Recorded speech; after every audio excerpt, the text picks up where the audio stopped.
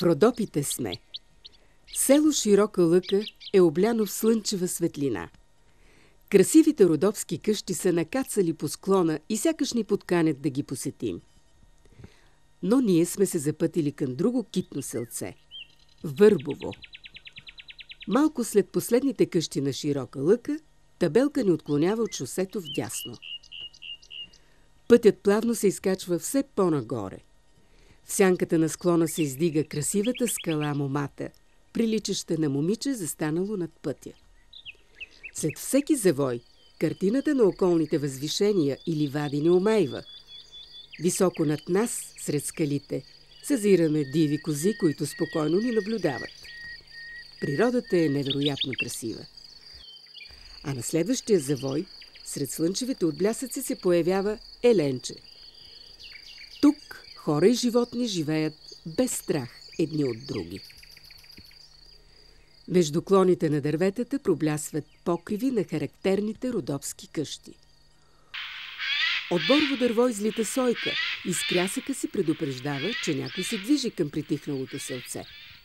Остър завой, стар римски мост и извисилата се над него камбанария на църквата Свети Георги Победоносец ни въвеждат във Върбово – Селото е създадено от трима кехаи, дошли от източните родопи, за да се спасят от насилствено потурчване. Това е типичен планински вид селище с десетина махали на километри едни от други. Тук хората са се заселвали в близост до хубава обработваема земя, а къщите са строени по лошите каменисти места, за да се запази плодородната земя за нивиците –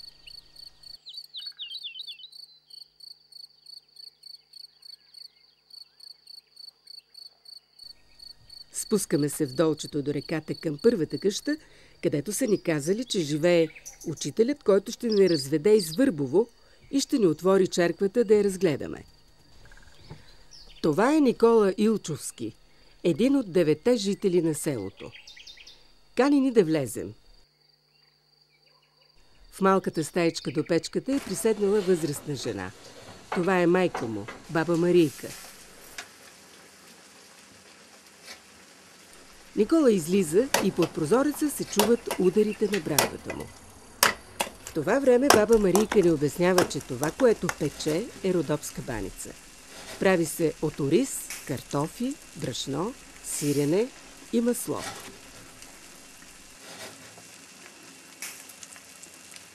Николай е второ дете. Първият беше Гошо, слабичък такъв, Николай, е, стана по едричко, такова дебело. И един път носим вода на кобилите и не го водя за ръчица. И то върви преди мен и вика, вземма майко, че ми тежко. А пък аз му викам, е, че на кого сега по-тежко? Кой носи водата? Ти или аз? И беше много такова хубаво. Почна да ходя на училище. Аз бех чистачка тук в нашето училище. Да ходеше още от от 5 години. И беше много силен. А, и един път инспектор дошъл и задават въпрос на, на една ученичка, ама на нея се запъва. Нищо не може да каже. Тогава то дига ръката и отговаря на въпроса. Там му са, му са водата стана историк. След тук като учих бях в Широха пак ученик. След а, Широха лъка бях в гимназията в Чепеларе. Нали бях музикално дете, ми бяхте купили акордеон още в трети клас започнах да свиря. По-нататък почнах да занимавам и с рисуване. От гимназията нататък прописах и стихове. И докато отичи така таланти по-малко, както даже го бях да питал в един стих, душата ми е музика и стих в една ненарисувана картина. Таланта си упропастих и свободата ми загина. След това нали, завърши учителския институт в Смолен, след половише образование, история и география. И след това продължих да дочно завърших висше образование по история в Софийския университет и после се върнах пак да работя като учител. Батерията ми свърши на апарата, трябва, трябва да сме на батерията пък.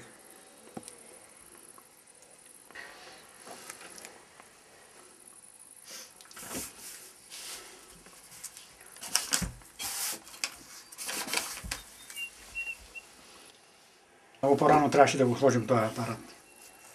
Не да мъчим без него.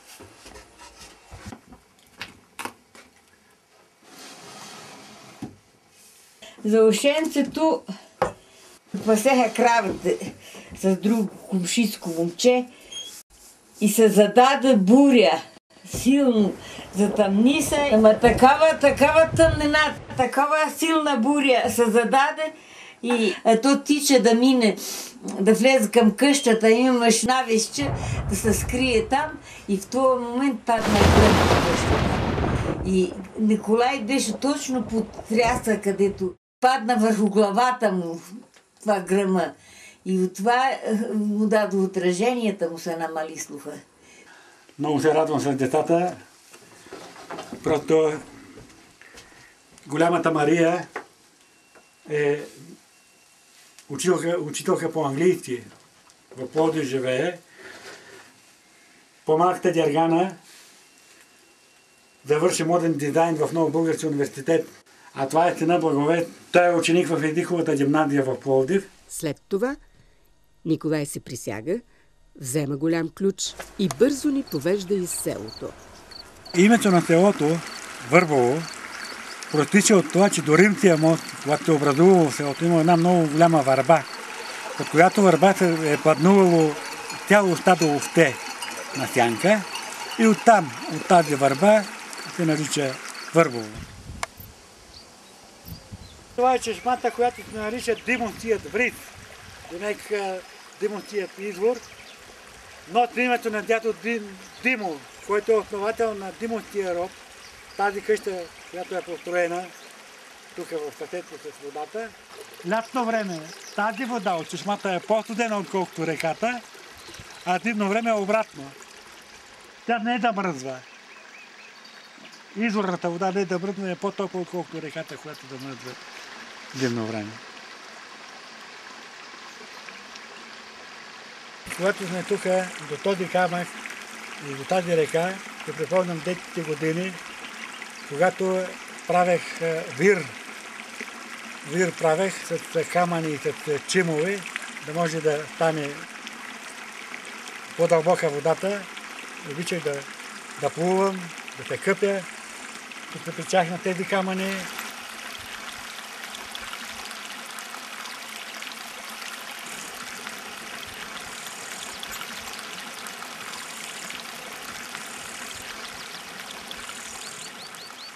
Това е сградата на читалището и на магазина. В това читалище на времето са правили художествената му дейност. След това се е за сватби, за изпращания на войници, за хръщенета. Сега вече нищо не правят. Просто няма кой да, да дойде в него. 1957 година е имало 160 дета ученици, които са учили тук на две смени до прогимназия до 8 клас. До 7 е било тогава, както и сега. И причината до някъде да се затвори училището да намалеят децата, това е защото 59-та година става ТТДС. В същото време излиза закон за укрупняване на образованието, което закриват прогимназията, го правят до четвърти клас. И става така, че хората, които до тогава занимавали земята, която имали тук и са изкарвали всичко за своята прехрана, обработвайки тази земя, просто след създаването на кооператива няма какво да обработват, няма къде да учат децата и почват да мигрират и цяла България се пръскат. Това всъщност е съдбата и на много села такива планински. В момента сме останали само 9 човека. Вижте, една после друга падат. Останалите безстопанствени.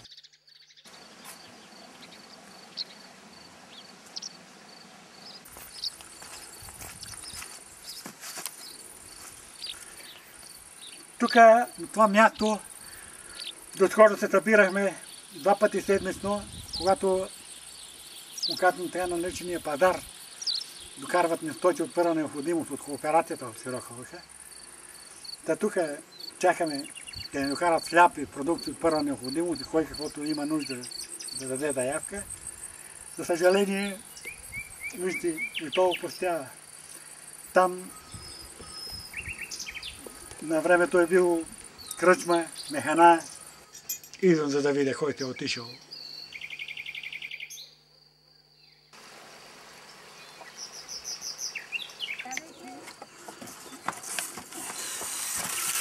Радвам се да те видя. Добре дошли.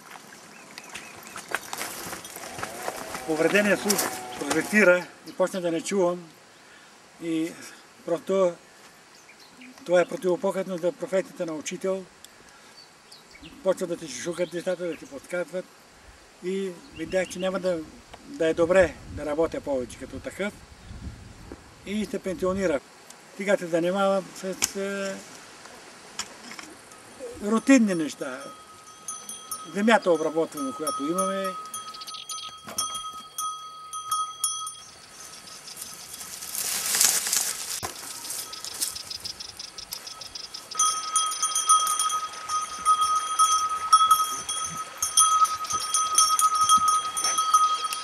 И между другото, стопанисвам храма, църквата Свети Велик ученик Георги. И идват а, туристи. Разказваме за църквата, тя е много оригинална.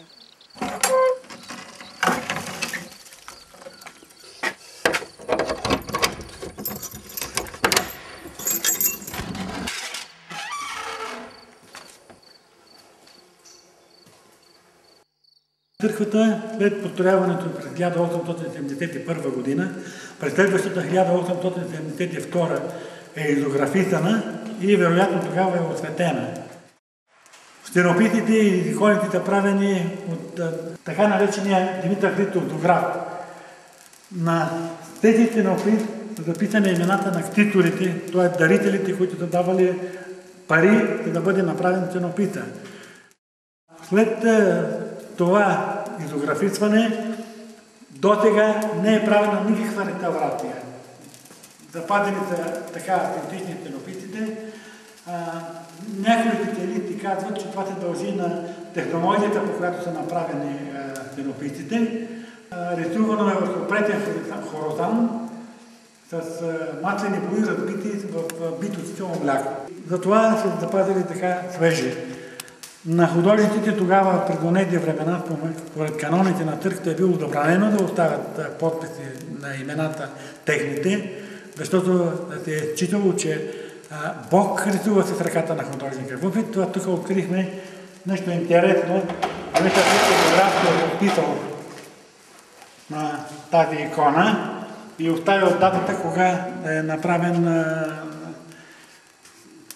изографицането на иконата. Ето, ръкописано от Дмитър Литограф, 1872 година. А, интересното е това, че терапитите и иконите в ренесансов т.е. има живец в тях, в самите образи на светите.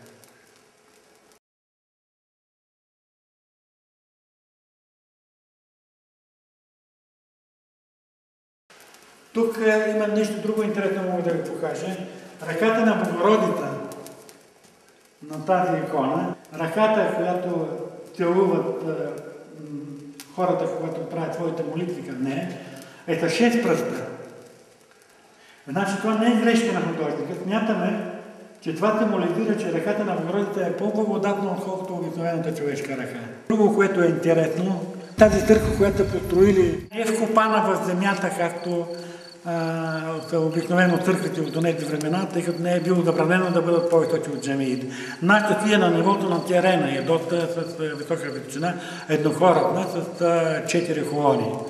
Някои твърдат, че заслуга за това, за разрешението на църквата и за построяването в този вид, а, имат и масонските ложи, тъй като тук открихме нещо, а, друго нещо много оригинално, звездата на Амазон се приложи в източно православен храм, което е доста интересно. Когато е бил издаден ухата, султанската канцелария за потребяването на църквата, на връщане от Стария град, хората, които са донесли разрешението и радето за потребяването на църквата, са сложили документа в кожена чифия, скрита от ковата на коня, Това е било с цел, ако евентуално бъдат нападнати от разбойните, както е имало по тези времена, да може да се запази документ, да не бъде унищожен. Сега доровите си няма хътка петен и глъчка ветер в училищен звънет и всичко се руши, потъва в плетен, бурените свиват венец. След това бавно се изкачва по витата стълба и на целсето се понася към банният звън.